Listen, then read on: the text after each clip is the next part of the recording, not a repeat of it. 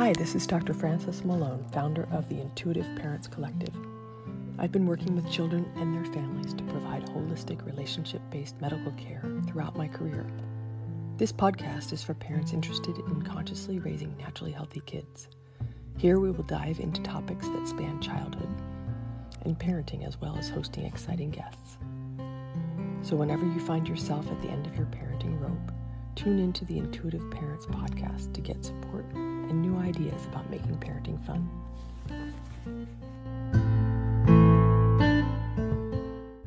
Thank you for joining us today for the Intuitive Parents podcast. I'm Frances Malone, and I created the Intuitive Parents Collective and this podcast to reach parents everywhere and to share creative ideas, hacks, and to provide support on your parenting journey. Today's guest is Pamela Barton. Hi, Pamela. Welcome. Can you start? Yes. Oh, sorry. Can you tell us a little bit about yourself and the work that you do to support parents? Yes. Thank you so much for having me today. Um, I'm a holistic nutritionist and natural nutrition certified practitioner, and uh, I, am located in, in Canada, here in Ottawa. And I offer a variety of services, um, and especially for families, parents, kids.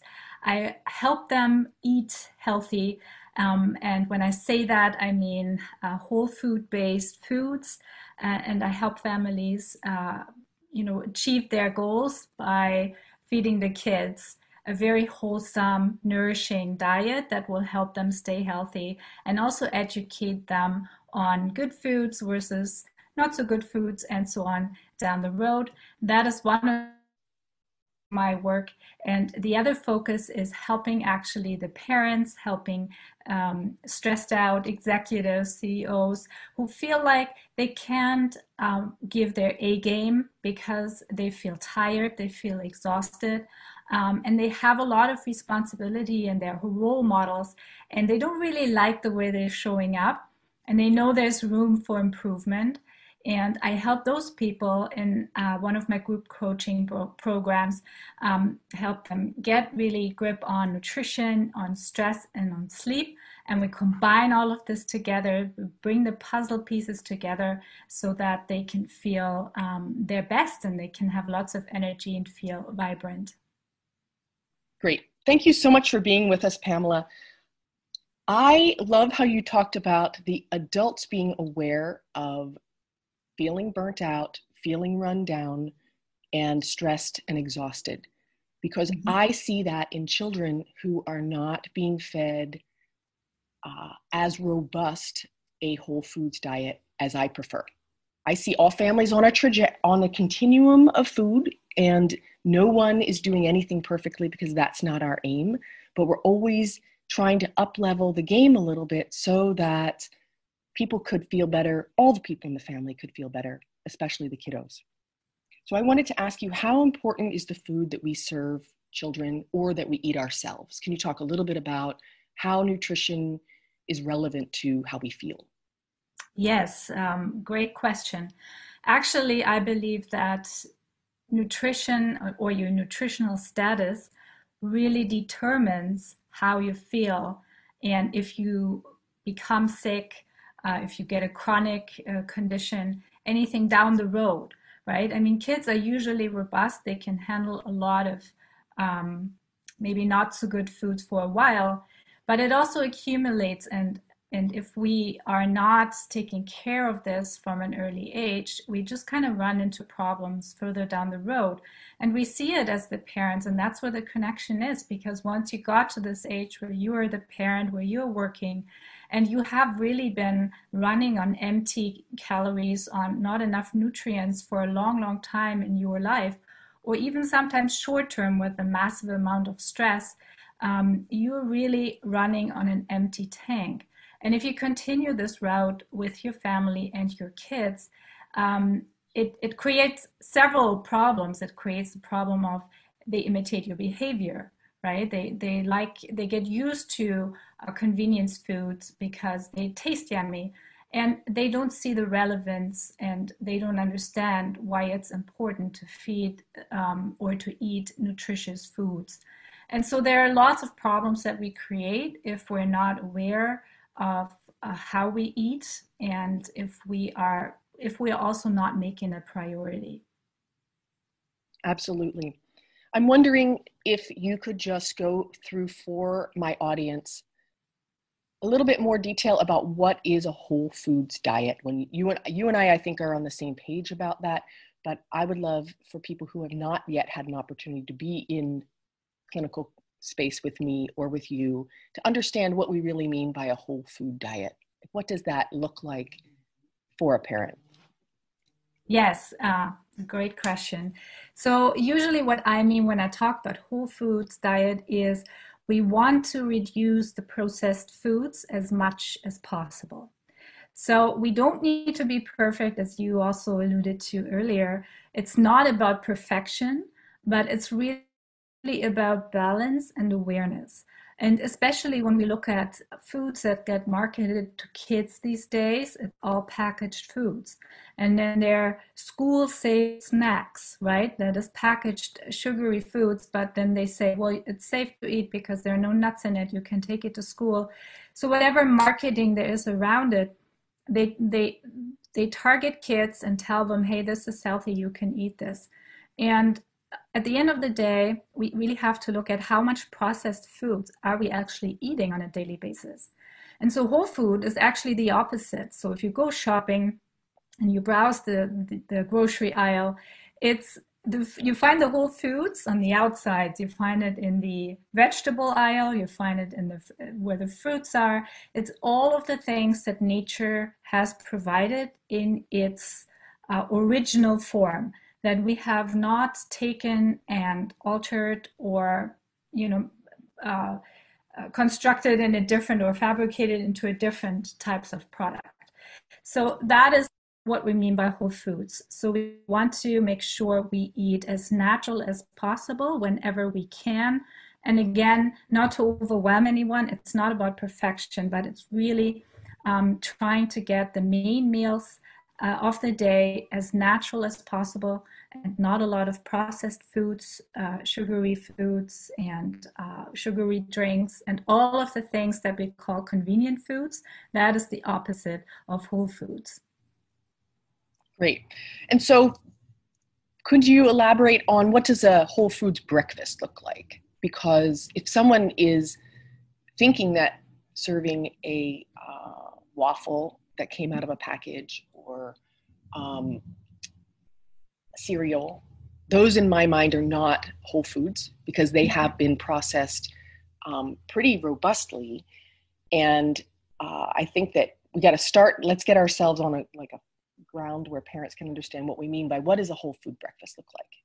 Yes, yeah, great. So yeah, a waffle that comes out of a package or a cereal is definitely not whole foods. It's been processed, it's been altered, it looks completely different than what nature grew. So um, I guess I always start out by asking you, okay, how would you like to eat breakfast? Because there are some people who say, you know, I prefer a warm breakfast. Others say, no, it has to be uh, quick. I don't want to spend any time on it. So that's always the first thing we need to, to figure out. Um, how do we actually want to eat? And then there are always better options. So if you say, I need my waffle like in the morning, that's what I want to eat, then I would tell you or I would give you a recipe how you can make a waffle yourself with, um, of course, there will be maybe some flour in it, which is technically processed, right? But again, we want to, we don't want to get caught up on this perfection piece. There are better alternatives. There are better flours you can buy. I would give you recipes that uses healthy fats, um, minimally uh, processed sugars, or or even just a banana. You know, there are lots of things we can do to make this waffle uh, a much healthier version and more nutrient rich than a uh, thing that comes out of the package. So that is always something where I say we can up level this, right? If it has to be the waffle, we find a really good recipe that will give you nutrients and that will also make you feel full longer so you don't have to eat as fast again.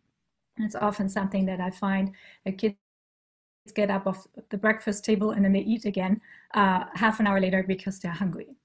So this is really um, something that I like to uh, draw attention to and also, for example, cereal. Um, then I prefer oatmeal, and you can make it yourself. You also don't have to buy the packaged oatmeal. You can just buy steel cut oats, and, and they don't really take a long time if you put them in a pot with a little bit of hot water um, and you you cook them for a few minutes. It's hearty and it's nourishing, and the kids will stay full longer, and it and it will be less sugar because you control what you put in it as a as a topping or an additive. Right. Well, those are great suggestions. One of my favorite parenting hacks that I did not know early on is that you can make your own waffles. First of all, you can make your own waffle mix so that it's easy and convenient to pull out of the refrigerator. But then you can yes. also make them ahead of time and freeze them so you can toast Absolutely. them just like the Lego Eggo or whatever the Eggo mm-hmm. package thing is. Yes. You can do that yourself, or your child can then toast it for themselves in the morning. I Absolutely. definitely like children to be having a uh, protein or fat, high fat content food along with any of these carbohydrates that they're receiving in the morning because I want them to have this beautiful, long burning energy so that they are not hungry in a half an hour because they haven't just spiked their uh, insulin and they had to drop their blood sugar and they haven't just gotten this big rush and then a drop. And it helps with our behavior management, it helps with rolling through our day, getting out the door, getting to school and being attentive there if we have some protein or some fat heavy breakfast that helps that carbohydrate move through in a more uh, tempered manner. Yes, absolutely. I'm there with you. I I also prefer protein and and healthy fats first thing in the morning and, and some fiber. And luckily we have lots of ways to achieve this this day, but it's not the mainstream breakfast that people grow accustomed to, right? Because it's not contained in a cereal box and it's not contained necessarily in a waffle, although you can put protein in the waffle. Um, but um, yeah, so we do want to maybe slightly change the way we think about uh, breakfast and um, teach better and more consistent ways to feed our kids. Because also, if we don't have to buy uh, 1 million snacks, because our kids are not that hungry, it also saves us money down the road. And me as a parent, I noticed uh, quite the difference when um, I had to shop for a kid that stayed with us for a while because they they wanted to have four different snack bars and five different bags of uh, Doritos and chips because they said they're getting so hungry all day. And I was like, what's going on? I mean, why do you have to snack all day? And the reason why you have to snack all day is because you're you're not full after your meals. You're not getting the nutrients, and uh, and yeah, and you also alluded to the behavioral issues. Um, and buying all these foods on a regular basis will will get quite costly, and it's not necessary if we really pay attention to to the meal aspect. Right, and I bet that you also find with adults that you have to help them relearn to eat a high protein or high fat breakfast so that they can feel better at work. And this is one of the things that I want children to feel better while they're at school. This is their primary job in life because we've given it to them is to go to school and to be functional. And if we are trying to subsist on a muffin in the morning or cereal or ju- only a waffle, then we set ourselves up for a crash an hour after we've just had our breakfast. Yes, absolutely. It always starts with the parents because the kids really they're looking they're looking up to us and they're imitating us. And um, what we eat, they want to eat. Most most kids are curious. They want to at least try. So, mommy, what are you eating? You know, like what is it? And and so if we are a good role model and we set, um, you know, good mealtime routine, um, then the kids are more likely to be successful with with solid and, and good nutrition. And in my house, for example, that's one thing that's really important to me. Like we take the meals together in the morning and in the evening. And at lunch we can't because we're not together. But so the morning we're all having breakfast together. And even if it has to be a little earlier uh, than than you would maybe get up to make this happen, it's really worth it because getting a good source of breakfast in will already eliminate uh, some of the uh, sugary snacks that the kids will have in school later on. And then again, dinner time is also something I'm very protective of. Um, we eat together, we're all sitting down together. This is the time without phones, without TV. Um, we're having a conversation and we eat real foods. And I think this is something, a habit and a lifestyle that can be implemented in everybody's life. You can always find ways to make, make that happen. Yes, one of the favorite things that I like to do, especially if I'm transitioning a child from being quote unquote a picky eater to trying to expand the foods that they will try, is to create help the parent to create meals that allow a little flexibility in them.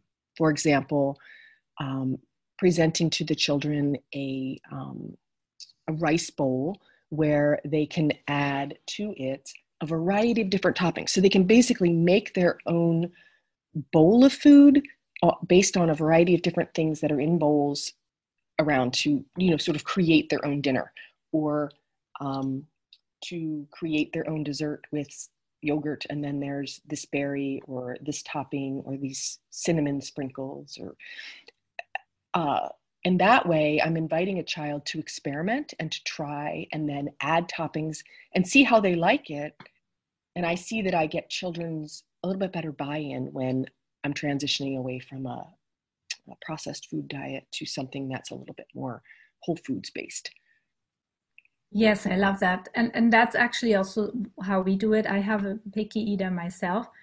Um, and uh, what we always do is we let them choose their own what I call toppings, and the toppings are often vegetables.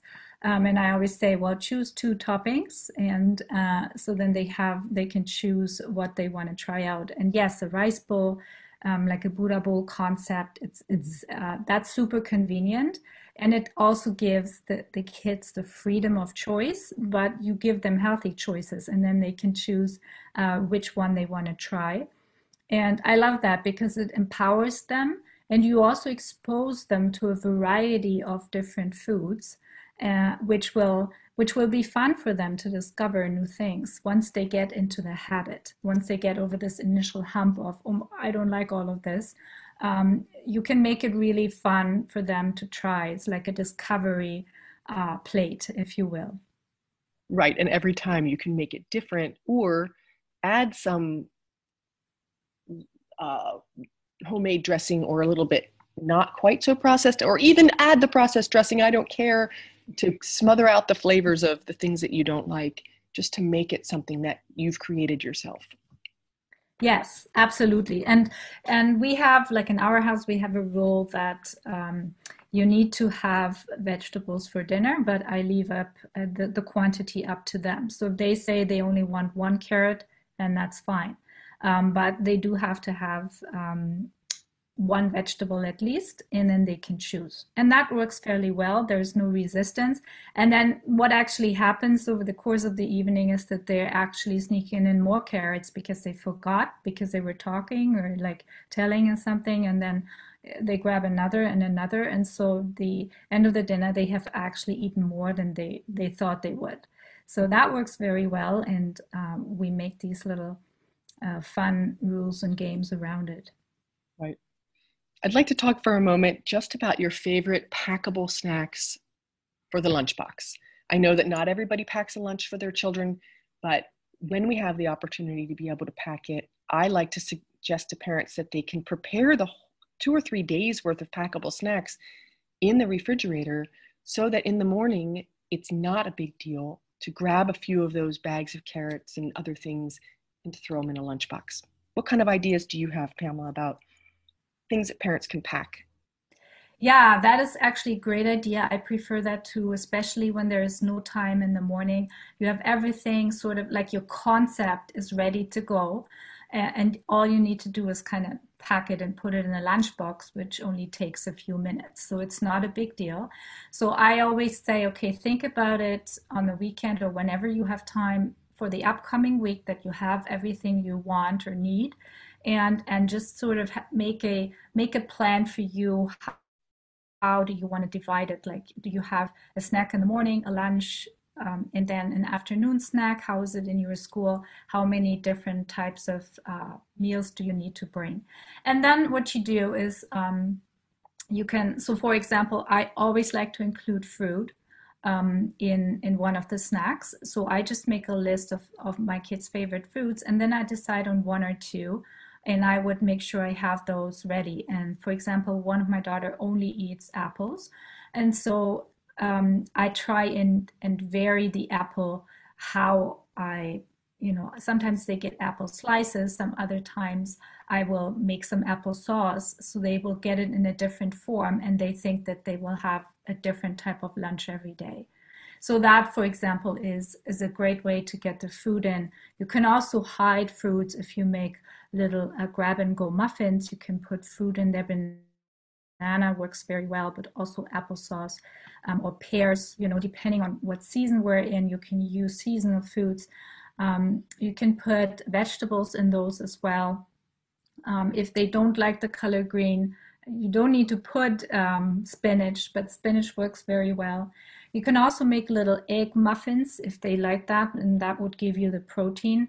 So you have an egg muffin that you put in the same tins like a regular muffin, and you can put some veggies in there as well. You can chop them very small if if they don't like the texture. You can hide it in there and make little egg muffins.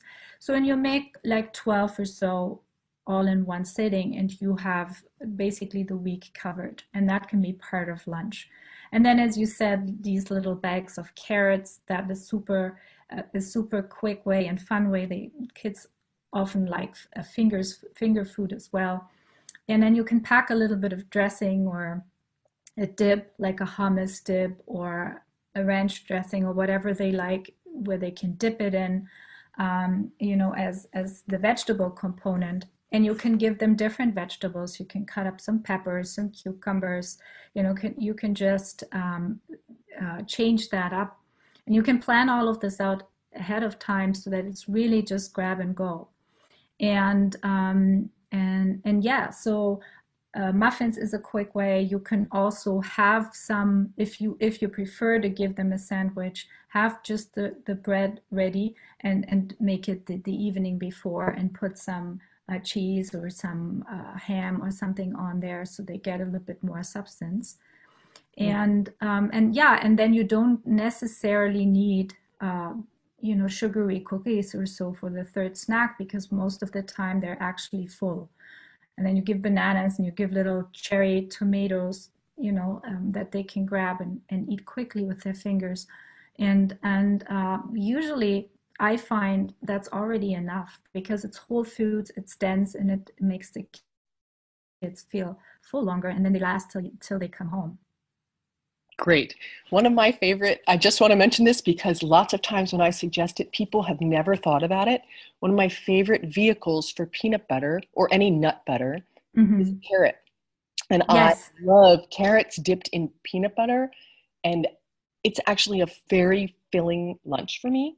Mm-hmm. the other parent hack that I like to do is if I have a roast chicken or some chicken or steak or something that I make one evening, chopping up chicken or steak and putting it in a little box or a Tupperware container or a bag is a beautiful presentation for a child who is hungry at school.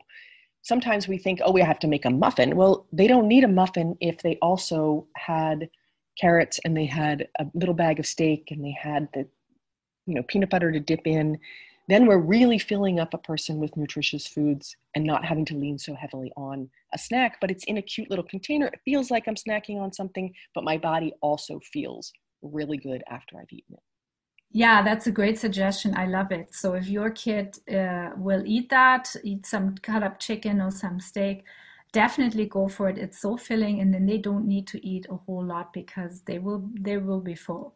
So that's that's a great suggestion, and it's easy to do. As you say, on the weekend, you can roast a chicken, or you can have a, a roast and, and, and cut it in little pieces and portion it. That's a great way to feed your kids as well. And then what? Uh, one other thing I wanted to just touch on for a second is smoothies. Because parents have gotten better and better at making smoothies, what are some of your favorite things to put into smoothies so that your smoothie can pack a punch? I think a smoothie for breakfast is a great way to send children out the door. because we can hit all the marks of protein, fat, and other uh, fruit and vegetable requirements. But why don't you tell me a few of your favorite things to put into a smoothie for child? Yes, I, I love smoothies too. Uh, for me and my family, especially on those days where where time is really running out on us. Um, so I definitely I have some protein powders, and um, there are different ways, uh, different protein powders, and different philosophies around them. Um, that that would be a whole other discussion. But I'm using a, a protein powder, and then um, I, I choose uh, I choose a fruit, I choose a vegetable that I have, and um, I I choose a fat. So if we look at those components that I want to see in it, um, so for example, this morning I had some frozen berries as my vegetables, and I had, and that's another way, a really great way to use up vegetables that maybe are kind of getting getting there to be spoiled. So before you throw them out, you can still use them in smoothies. Um, so I had a few berries and I had a piece of cucumber left and um, a few carrots and I put them all in and I put my protein powder in and then I put some um, avocado oil in it to make it a little smoother.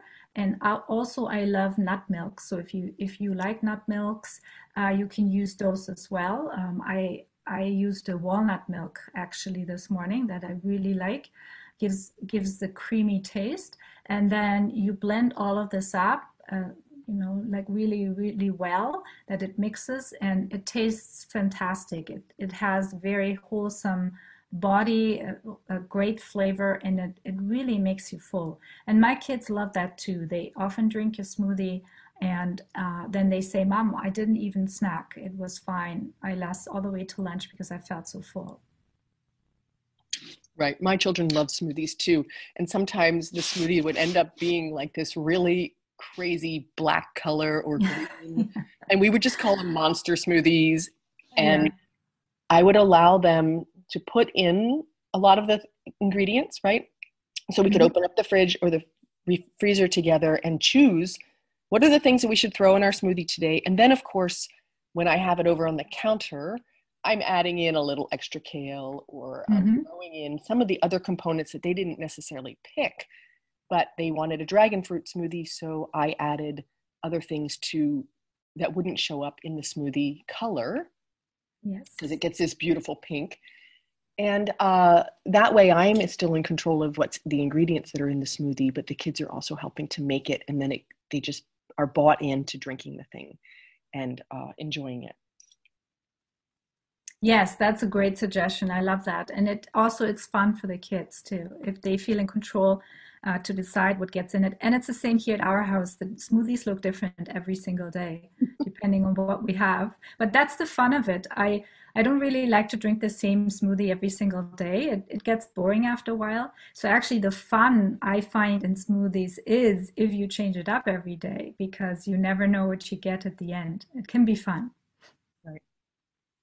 So, one last thing that I wanted us to touch on because getting our children to sleep is uh, the last, probably, of every day priority for parents. But there's often a way that we can lead up to bedtime with food. And um, I'd love to hear what some of your suggestions for. Um, I know that you work with adults on preparing themselves for sleep, and what kinds of things can we use at our dinner table or as pre bed snacks to help prepare our children for a restful night's sleep? Yeah, that's uh, that's super important, and I I really think it comes down to um, first of all the way you eat all day long, and it started out with this yummy breakfast with protein and fats and fiber. Um, because that really sets the tone for the rest of the day. And believe it or not, it also sets the tone of how you sleep. So even though there's a long time between breakfast and dinner, it actually helps you, you know, give the right signals for getting tired and falling asleep because it's all connected.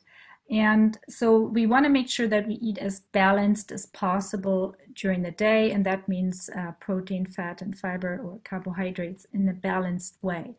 And if we eat a dinner according to that principle as well, we're really helping the body um, to just stay calm and not be agitated because we don't want a kid we don't want kids to be agitated and getting a second wind or and being too excited because then they can't calm down and then they can't fall asleep.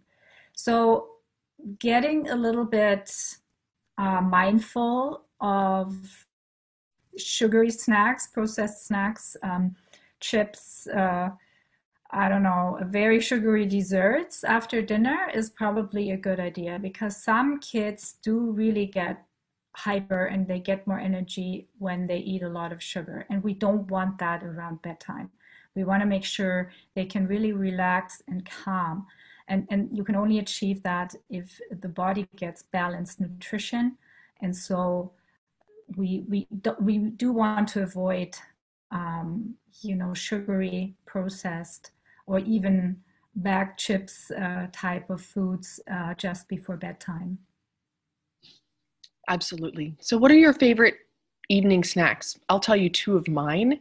Sometimes, if dinner wasn't as big a hit as I uh, wanted it to be or hoped it would be, because my kiddos were pretty darn active, mm-hmm. I would suggest that we have and present to the kiddos oh, look, let's have a, another snack before bed and they would have a bowl of yogurt and be able to pick whatever berries they wanted to put on top of it. And I'd also serve a sausage that I knew that they loved so that I am providing them with some really dense uh, fat and protein food before they go to bed.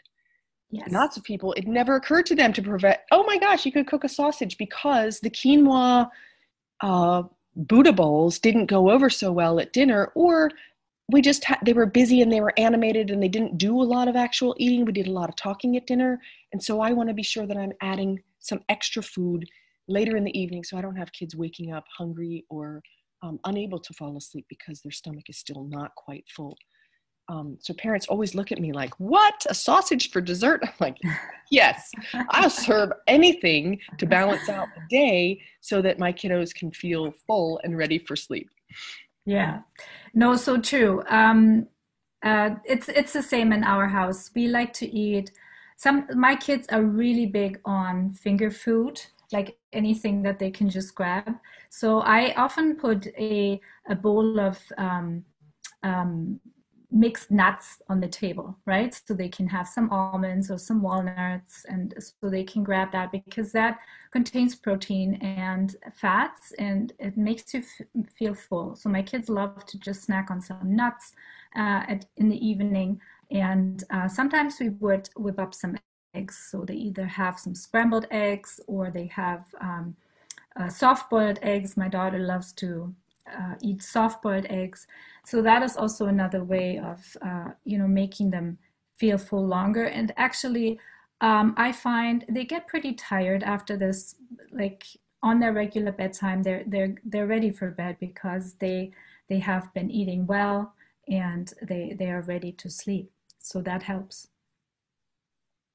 Yes, and I also will sometimes su- suggest that a parent add some passion flower tea at dinner time because mm, the passion nice. flower tea served with dinner helps us just to wind down and um, sort of settle into the idea of our bodies being relaxed and calm in a couple hours when we're ready for bed. Yeah, that's a nice idea. Passion flower. Yeah, I love it. Yeah, we sometimes do lavender, but I love passion flower. So we try that out next. Mm-hmm. Great.